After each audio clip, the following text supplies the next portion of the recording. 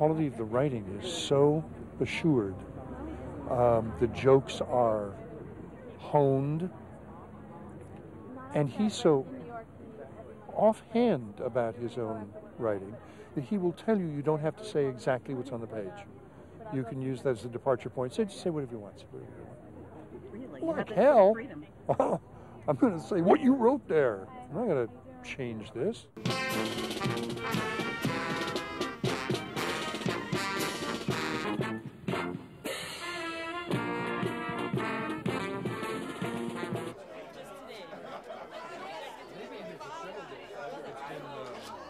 I hope it is not ever necessary.